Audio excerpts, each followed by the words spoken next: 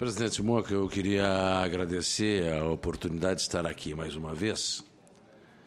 E da Comissão da Agricultura do Senado, para mim, é uma honra, ainda mais quando presidida por Vossa Excelência.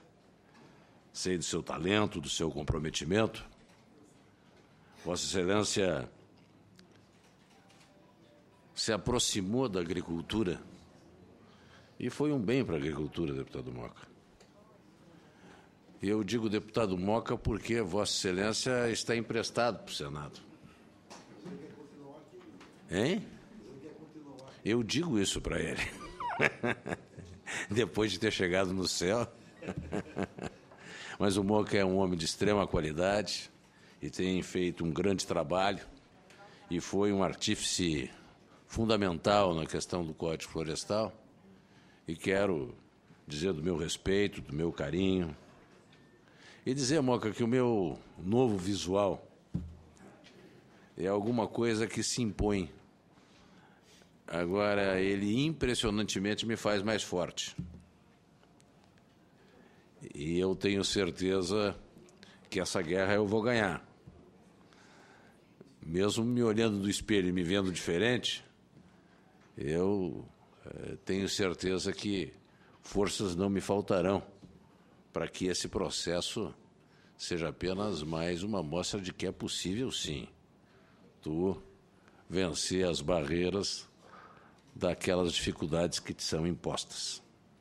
Eu quero saudar meu presidente, o meu presidente da Embrapa, Maurício. Tenho tido ótima relação com o Maurício. Acho o Maurício extremamente preparado.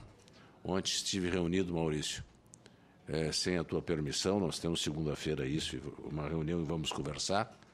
Eu tive uma reunião com a presidente da Embrapa Solos, a Maria de Lourdes. É, é uma das responsáveis pelas 47 Embrapas.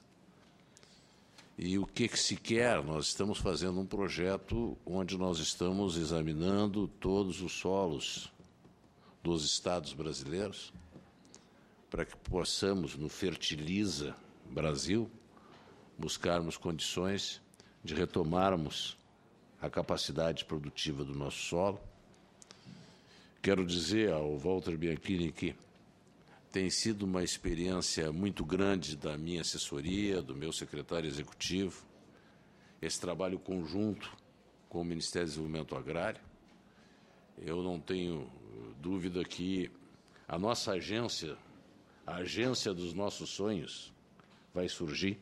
E por ser essa agência da assistência técnica dos nossos sonhos, é que eu fiz questão de passar aqui hoje na Comissão da Agricultura e dizer que esse debate é extremamente importante para nós, para os conselhos da área da agricultura, para os ministérios da área da agricultura para os senadores que aqui estão, que atuam na área da agricultura, que eu faço questão de saudá-los, a todos aqueles que trabalham na área da agricultura brasileira.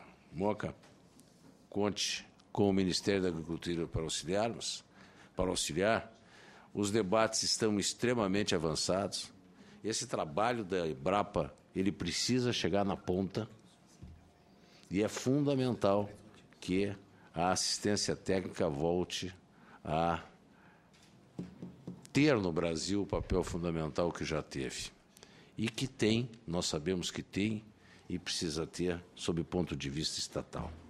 Então, que eu tenho, meu senador, outros compromissos, mas repito, não poderia deixar de vir aqui transmitir a minha confiança que eu sempre disse desde que assumi, né? Que eu vou ganhar uma outra menina dos meus olhos. Né? Eu dizia que a menina dos meus olhos era a Embrapa, pois nós vamos ter a assistência técnica para, quem sabe, ser a prima dessa menina e podermos fazer uma dupla extraordinária, minha diretora, em favor do produtor brasileiro. Muito obrigado, foi uma honra estar aqui com todos os senhores.